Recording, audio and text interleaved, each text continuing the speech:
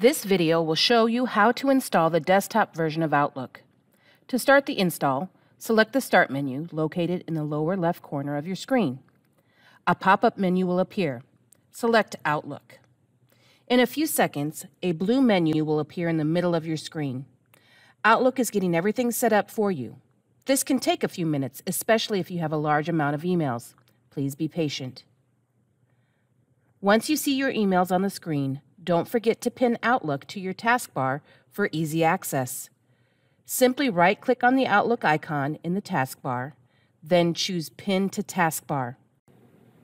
The next time you log onto your computer, all you need to do is click on the Outlook icon that is pinned on your taskbar, and your email will appear.